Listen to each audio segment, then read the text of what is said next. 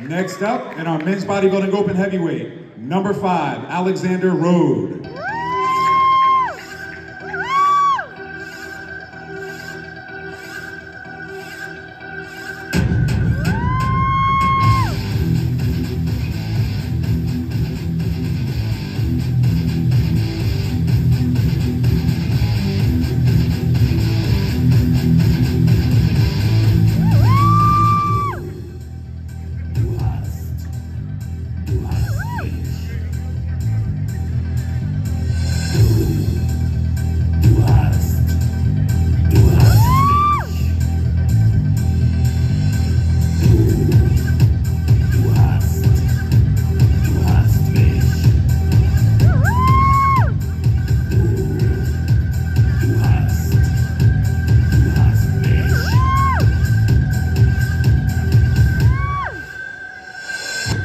Great job. Let's give it up for him, ladies and gentlemen.